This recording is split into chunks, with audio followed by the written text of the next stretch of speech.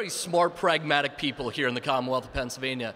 And just like my dad and so many other folks out there, we know that on payday you go to the bank, you put your money in your in your paycheck eh, in your checking account, maybe take a little bit out so you can take your kids to dinner that night. But we're also smart enough to know that you're supposed to squirrel away 25, 50 bucks because at some point in time your roof is going to leak.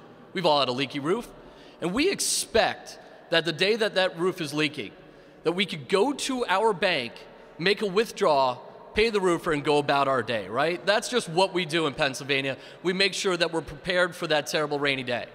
And that's essentially what the Unemployment Compensation Fund is. We squirrel away a little bit of our money, you all, out of your paycheck, squirrel a little bit away of your money to make sure that if catastrophe strikes, if you have a crisis, when you lose your job because of a downturn of the economy or outsourcing or because of bad weather, you're able to pay your mortgage, you're able to pay your rent, you're able to send your kid to the doctor, you're able to pay a tuition bill. That's why we have the unemployment compensation program and that's why we have their centers.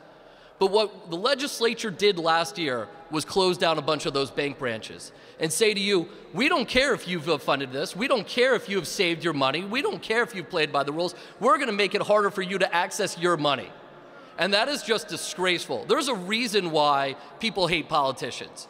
It's because instead of doing our job and putting people first, we play politics with our lives.